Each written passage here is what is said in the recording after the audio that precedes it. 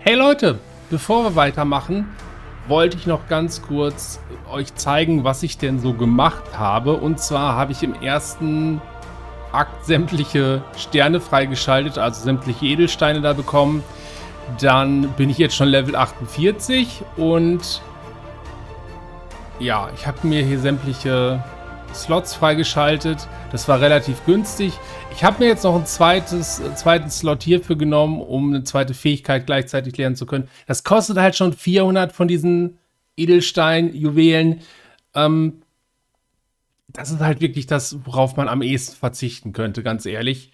Weil das ist dann wirklich nur eine Frage der Zeit. Wenn ich natürlich hier Platz nicht freischalte für eine Fähigkeit, dann kann ich halt nie diese Fähigkeit nutzen. Wobei ich glaube, der erste Slot war irgendwie was mit 10 Juwelen, der zwei oder den zweiten hier war. Nee, Quatsch, was rede ich denn da? Ähm, also bei diesen passiven waren es, glaube ich, 10 und 25 Juwelen jeweils. Das ist ja eigentlich gar nichts. Das kriegt, die kriegt man so schnell wieder rein. Das hier hat 400 gekostet und das hier kostet 900 sogar. Okay, das wird immer teurer. Alles klar. Ja, gut, im Prinzip, wie gesagt, man kann, eine reicht eigentlich, weil, ja, irgendwann, wenn man halt alle trainiert hat, sämtliche Fähigkeiten auf 10, dann braucht man die Slots hier eh nicht mehr. Von daher, ja, ich habe es jetzt trotzdem mitgenommen. Warum nicht? Vielleicht werde ich auch irgendwann den für 900 freischalten, einfach damit ich dann alles habe. Gut, im Lager habe ich hier jetzt noch die zweite Kiste soweit erweitert. Ich sammle jetzt erstmal noch diese Schatzkisten mit Ausrüstungsgegenständen, weil ich glaube wirklich, dass die passen sich dann dem Level an. Und da unten hatte ich jetzt noch eine Waffe. Ach ja, und ich habe jetzt auch zwei Set-Boni, also für zwei unterschiedliche Sets jeweils ein Boni. Das war einmal hier Kampfkluft des Kriegsherrn. Durch Einsatz von Ansturm oder Sprung nutzt der Krieger auch Kampfrausch. Das ist halt super gut, weil Kampfrausch erhöht die Eile. Und wenn ich dann anstürme, dann haut er teilweise so schnell zu. Aber ich, manchmal, manchmal funktioniert das nicht. Ich weiß nicht, woran das liegt. Manchmal ist die Animation nicht so viel schneller. Ich weiß es nicht. Gut, dann halt Klingsturmausrüstung. Wirbelwind fügt dem anvisierten Gegner 100% mehr Schaden zu. Also arbeite ich auch sehr viel mit Ansturm und Wirbelwind. Okay, aber ich muss jetzt langsam mal gucken, wie ich das mit den Waffen mache. Ob ich das jetzt noch weiter äh, sammle oder nicht, weil das sind dann hier schon plus 57% Schaden. Okay. Wenn ich noch eine zweite Waffe auf dem Level finde, dann tausche ich die auf jeden Fall aus. Das würde ich erstmal soweit lassen. Und ich bin jetzt hier auch schon auf dem Weg zu Level 9 bei den Saisonbelohnungen. Und es geht immer noch 58 Tage. Also ich habe ein bisschen mehr in sehr kurzer Zeit gespielt. Ähm und die Sache ist die mit den Angriffen. Also ich bin es durch Torchlight ja gewohnt, wenn ich einen Gegner angreife, dann halte ich die linke Maustaste gedrückt. Hier ist es halt so, das ist mir jetzt auch erst aufgefallen, es reicht einmal, dass ich die linke Maustaste drücke, dann hackt er von alleine weiter auf die Gegner, auch auf den nächsten, der da rumsteht. Oder auch bei der rechten Maustaste. Also gut, das ist, macht das Ganze dann auch sehr viel angenehmer. So. Ja, Level 48. Ich muss jetzt mal wieder hier eine Prüfung machen. Dann machen wir mit der Story weiter. Genau, ich habe nochmal so ein bisschen die dritte gemacht, weil ich wollte halt diese Prüfung hier auch mit... Ähm, ins Let's Play nehmen. Dann machen wir die jetzt. Ich habe auch noch einen zweiten Slot für Begleiter freigeschaltet. Ich glaube, das waren auch 400 von diesen Steinen. Juwelen? Ja, ja, ich glaube, es waren, es waren Juwelen. Ja, gut. So. Aber das hier ist halt auch im Prinzip immer... Man hackt halt Gegner um und das war's dann. So, jetzt wurde das gerade getriggert, dass er schneller angreift. Das ist schon... Das ist schon lustig. Also schnell wieder dazu haut.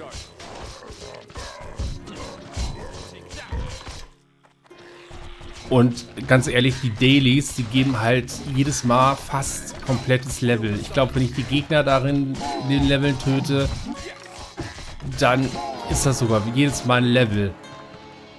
Markus ist jetzt Level 40. Gut, dann werde ich vielleicht mal einen Begleiter austauschen, damit die Heilerin dann auch nachzieht. Ja, und hier kann man das natürlich noch anders machen. Also, wenn, wenn man hier so rumläuft, kann man natürlich hier so ein paar Gruppen zusammenziehen, die dann zusammenstehen. Dann kann ich hier auch mal Wirbelwind anmachen.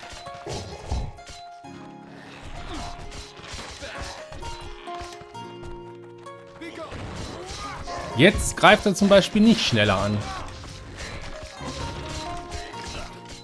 Weiß nicht. Ich hatte ja letztes Mal, glaube ich, auch gesagt, dass die... Das war auch irgendwie entweder was ein Anzeigefehler, irgendein Bug in der Richtung, aber der hat beide Angriffe von der linken und rechten Maustaste, die hatten quasi die gleiche Animation. So, das ist jetzt weiß bei der linken Maustaste, wenn ich jetzt die rechte drücke, dann ist es rot. Ist im Prinzip die gleiche Animation, nur eine andere Farbe. Plus, ich glaube, weiß ich nicht, letztes, vorletztes Video war es halt so, da war es egal, links oder rechts war beides rot.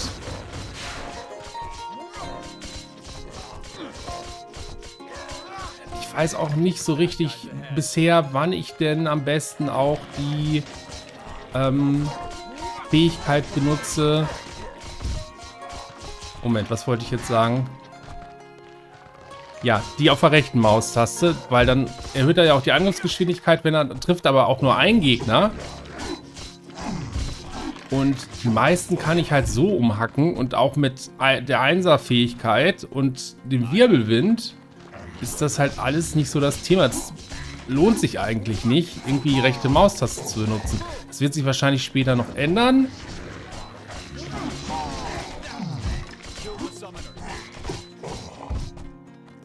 Und was bei der Heiler, Heilerin ist natürlich ja auch mit dem Krieger zusammen echt wirklich, wirklich super. Weil durch diese Vortex-Fähigkeit kann sie halt alle Gegner auf einen Fleck ziehen.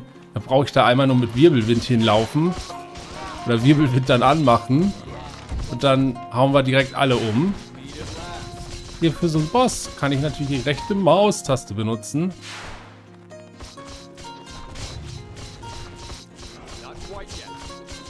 Die rechte Maustaste, danke. So.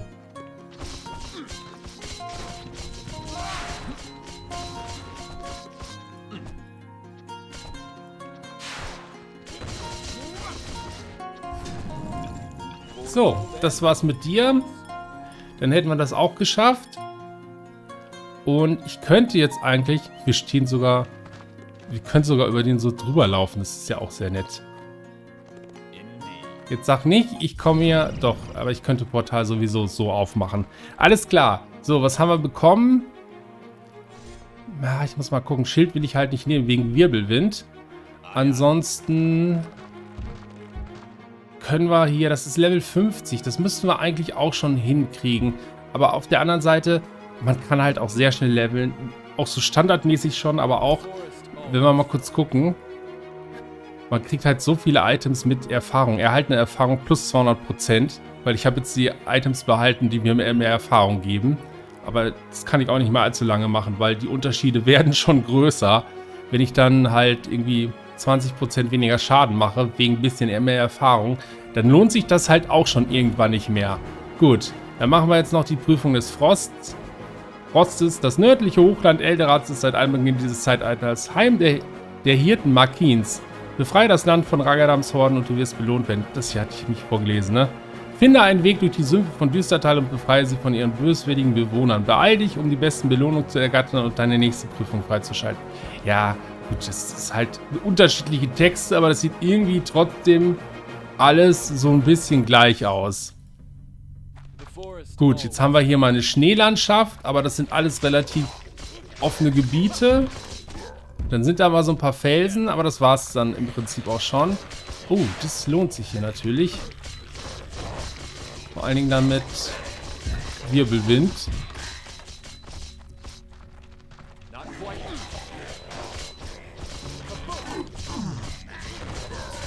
So, jetzt hat er es wieder getriggert durch den Charge. Manchmal macht das halt nicht. Keine Ahnung, woran das liegt. ich hatte ja auch erst gesagt, okay, ich höre jetzt damit auf mit dem Projekt. Das Problem ist, das macht mir jetzt halt immer mehr Spaß. Das ist das große Problem daran. Auch wenn das mit der Steuerung mal so ein bisschen problematisch wird. Ich glaube, dieses Problem tritt halt auch auf, wenn man wirklich sehr viel klickt. Jetzt, wenn ich das wirklich anders mache momentan, mit denen halt nur einmal klicken, bei den Fähigkeiten, dann ist das eigentlich okay. Oh, wow, das macht auf jeden Fall... Oh, das tut auf jeden Fall weh.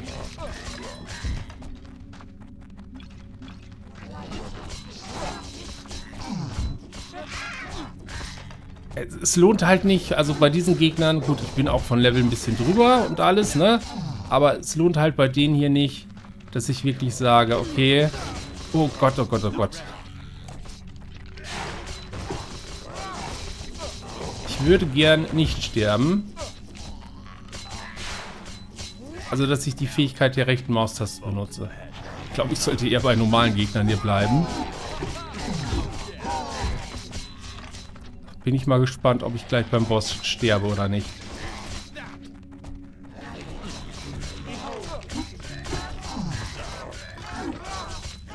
Ja, so langsam macht es sich wirklich bemerkbar, dass ich schon sehr viel, sehr viel für mehr Erfahrung geopfert habe.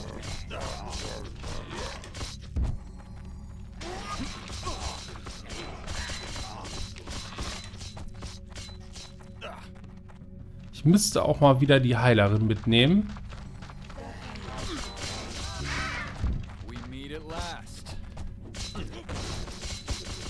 Es sei denn, ich habe hier natürlich so einen Boss oder so einen ganz starken Elite-Gegner. Dann ist natürlich die rechte Maustaste besser, wenn da halt keine Ads so wirklich bei sind.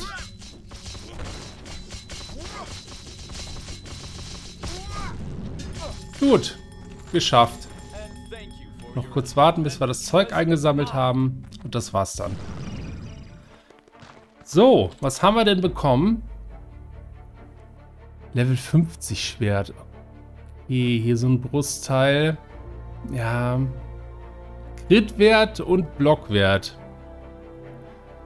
Ja, das ist dann wieder Set-Item. Da würde ich das halt wieder verlieren. Das sind dann jetzt...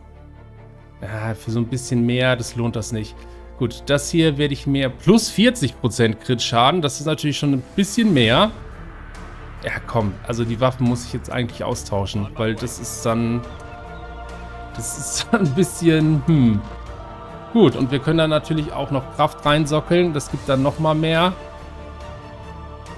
Äh, die Frage ist, wie machen wir das denn direkt so? Ich habe die eigentlich alle schon soweit versockelt. Ihr habt oder ich nehme wirklich... Ich glaube, Level 6 von den Smaragden ist jetzt erstmal so die höchste Stufe. Vielleicht ist das dann auf nächsten Schwierigkeit... Vielleicht geht das dann auf nächsten Schwierigkeitsgrad noch ein bisschen höher. Oder ich nehme Crit-Wert. Hm. Eile haben wir eigentlich genug. Ich würde fast sagen, ich nehme mehr Crit damit rein. So, dann mal eben schauen. Das wäre dann schon 66% mehr.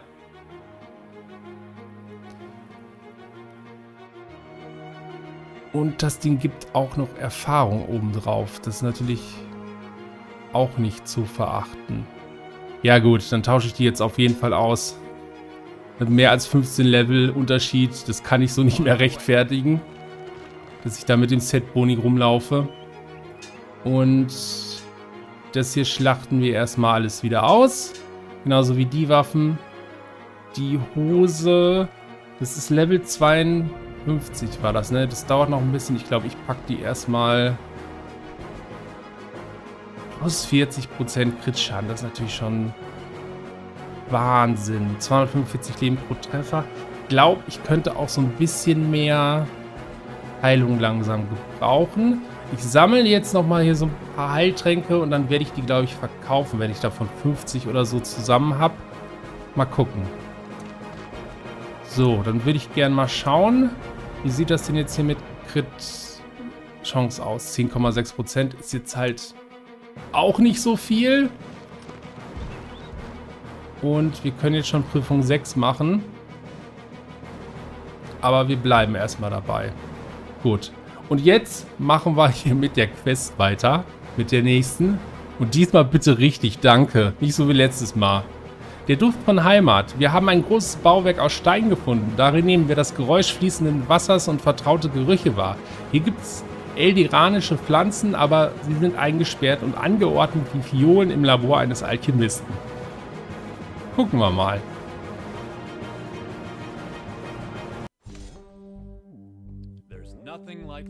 Uh, das sieht ja auch interessant aus. Aber, gut, du bist 39, dann würde ich fast sagen, ich nehme euch zwei hier erstmal mit. Und je nachdem, wo, welchen Begleiter man in welchen Slot hat, sind dann halt hier auch die Fähigkeiten angeordnet. Also ich kann die jetzt auch nicht so verschieben, sondern es kommt halt drauf an, wo die dann, ja, quasi drin sind. Terraforming Experiment 1, das ist ja auch interessant. Hat wohl nicht so ganz funktioniert. Wenn man sich anschaut, was hier für Gestalten rumlungern.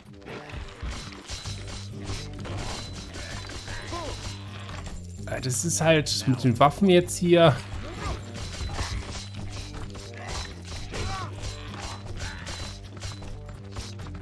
So langsam werden die Zahlen echt ein bisschen größer.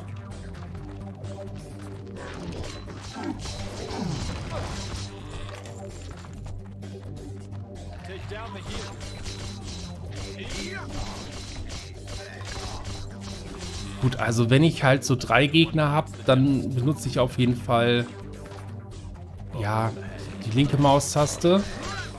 Bei drei Gegnern und mehr.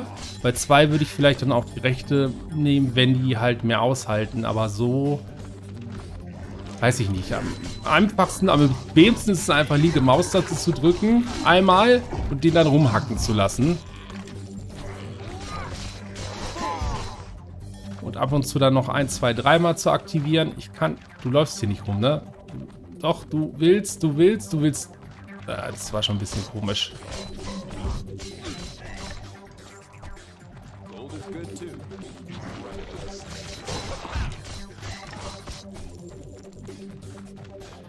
Ich weiß gerade auch nicht so richtig, wo ich hier jetzt hin soll, aber das, das sind ja halt auch immer so Schlauchlevel eigentlich, deswegen aber ich will jetzt auch nicht an irgendeiner Kiste vorbeilaufen. Ich würde schon gerne alles mitnehmen.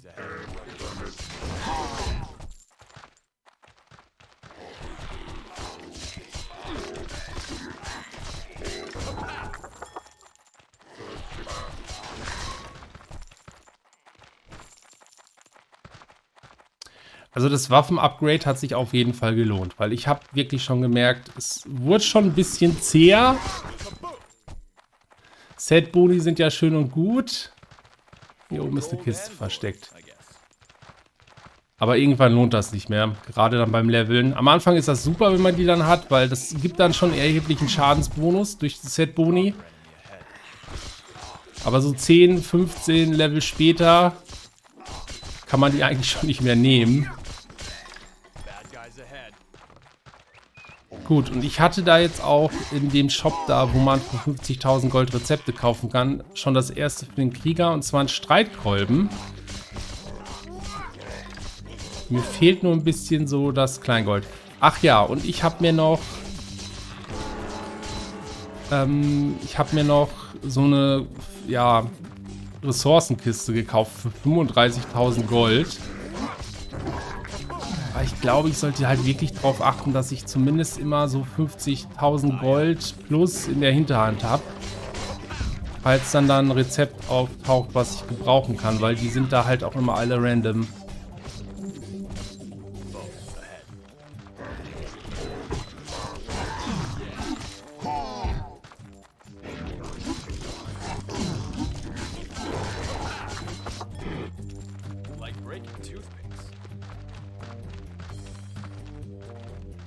Gibt es hier noch irgendwas? Vielleicht ja, vielleicht nein. Jetzt können wir auch hier runter.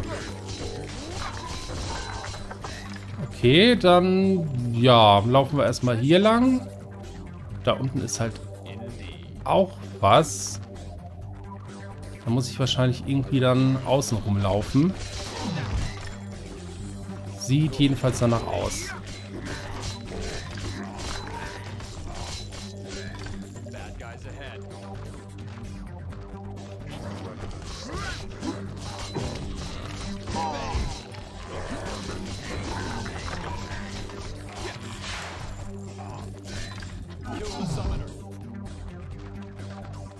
Schaue jetzt erstmal, ob ich hier unten vielleicht rumkomme.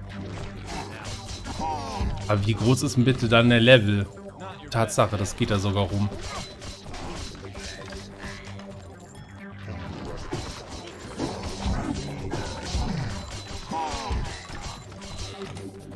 Ja gut, das Gebiet ist hier scheinbar echt schon ein bisschen größer. Jetzt können wir auch hier oben hinlaufen.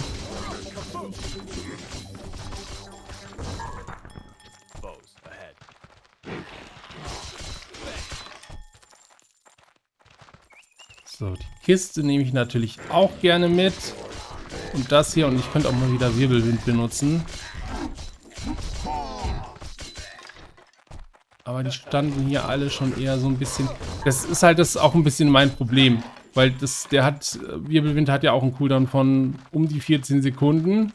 Je nachdem, was ich für Cooldown-Reduktion habe. Die 14 Sekunden können halt auch schon sehr lang sein. Dass wenn man den dann braucht, den gerade nicht benutzen kann. Aber dafür benutzt man den sonst ganz oft nicht. Da geht es dann auch noch weiter. Gut, aber wir machen erstmal hier unten alles platt.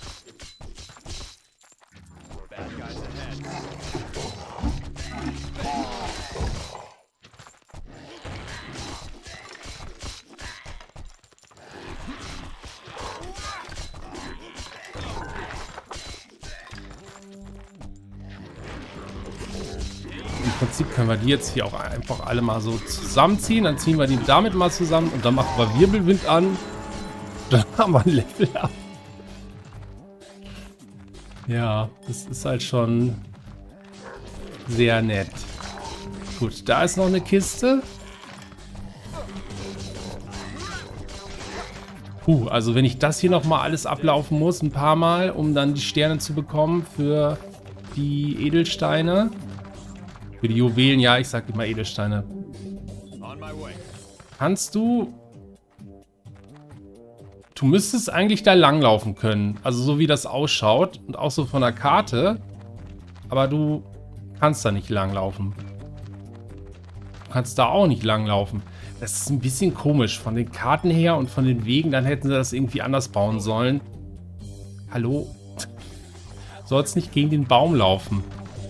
Nee, da geht's also jetzt hat er gerade... Das mag er nicht, wenn er da unten lang läuft. Okay. Gut, wir müssen dann auf jeden Fall... Terraforming Experiment 3. Ähm... Ich kann da jetzt so nicht rein. Das heißt, ich muss dann erst nochmal woanders hin. Weil das ist ja rot. Moment. Überlebe den Hinterhalt.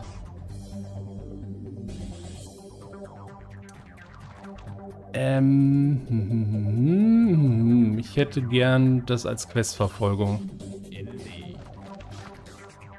Also, ich glaube, ich muss da unten nicht hin. Ich, der läuft da ja kaum hin, aber ich war doch hier oben. Hier oben war ich doch auch schon überall. Das da ist grün auf der Seite. Aber da komme ich halt so jetzt nicht hin. Und hier waren wir ja auch überall. Oder habe ich irgendwo einen Gegner stehen lassen? Nee, das glaube ich aber nicht. Kann ich irgendwie, ja, ich kann mir die Karte... Ja, das ist aber auch sehr provisorisch hier.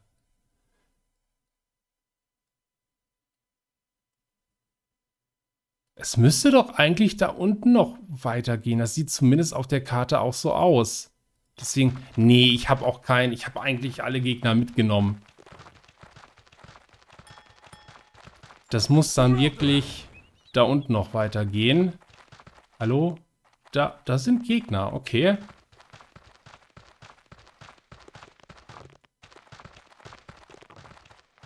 Also dieses Überlebe den Hinterhalt das ist wahrscheinlich mehr so, ich muss ja alle Gegner erledigen. Da kommen wir halt nicht hin. Aber da läuft er rein. Okay, also... Ja, Wegfindung, ne? Ist auch ein Thema für sich.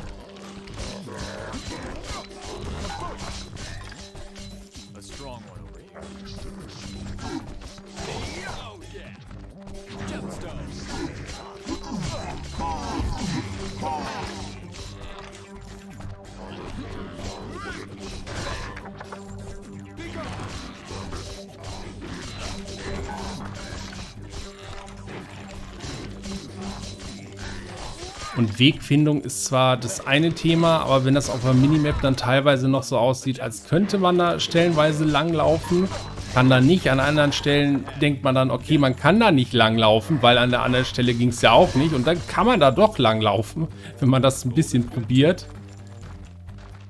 Dann kann man durchaus an der einen oder anderen Stelle doch mal hängen bleiben.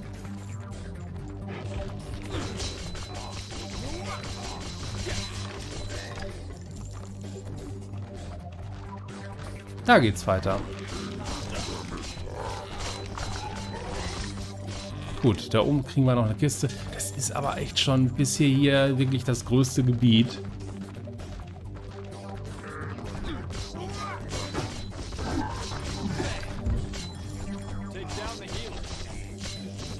Ja, ja. Healer erledigen. Einmal Wirbelwind anwerfen.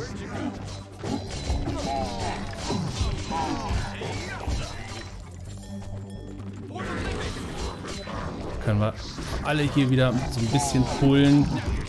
Und einmal Wirbelwind anwerfen. Ich könnte die auch alle wieder zusammenziehen. Aber gerade bei so ein paar Gegnern lohnt das sich. Also die Heilerin ist gerade mit Wirbelwind oder irgendwelchen Flächenschadensfähigkeiten natürlich am besten mit ihrem Vortex da. Da kann man teilweise so viele Gegner zusammenziehen.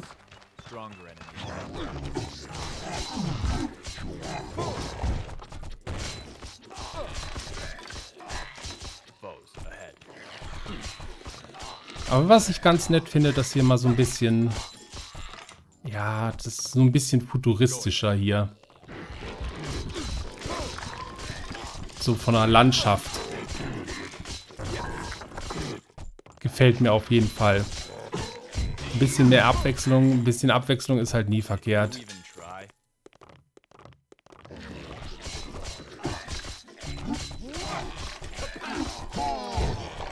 Hätte jetzt aber nicht gedacht, dass es hier so lange geht. Lab Area, okay. Living Quarters.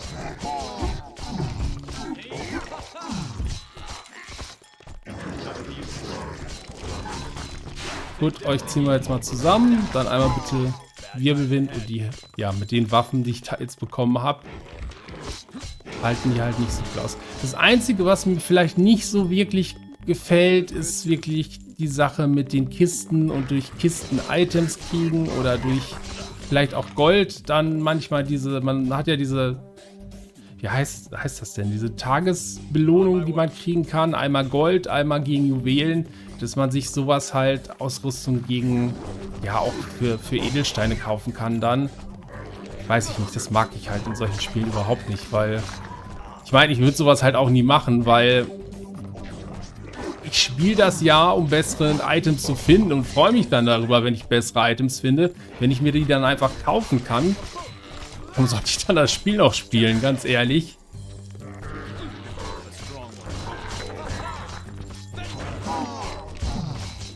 Ja, man kann das natürlich auch ein bisschen kombinieren mit Charge dann. Wenn man nur in einer Gruppe drin ist, macht dann Wirbelwind an und vier Sekunden sind, gehen, also ja, ist halt trotzdem relativ kurz, aber dann kann man nochmal in eine andere Gruppe reinchargen und dann da nochmal mit Wirbelwind Schaden machen. So kann man das natürlich auch machen. Okay, wie machen wir das denn? Pieper.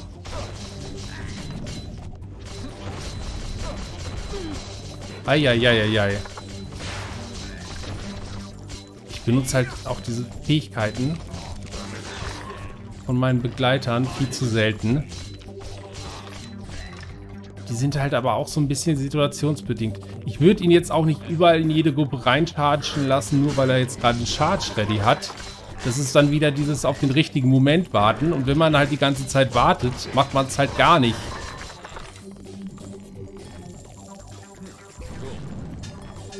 Cool, das könnte jetzt ein bisschen dauern mit dem Ansaugen.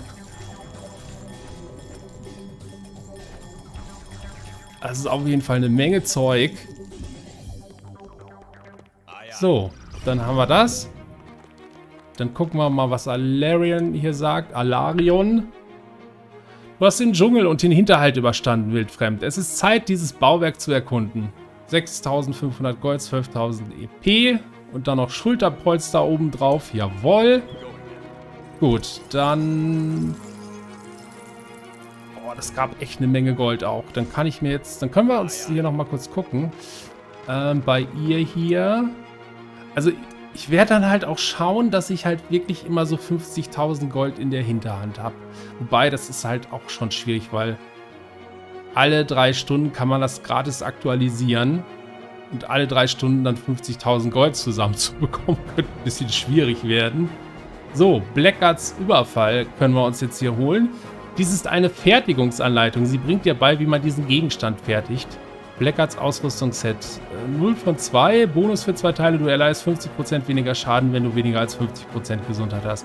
Gut, so toll ist jetzt dieser Bonus auch nicht. Aber ich nehme das jetzt trotzdem schon mal mit. Weil das ist dann sowieso immer random, was man da kriegt. Und ich nehme dann lieber direkt alles mit, was ich dann so kriegen kann. Ich würde gerne noch mal kurz hier bei dir schauen, wie das denn ausschaut hier mit den Nahkampfwaffen-Sets.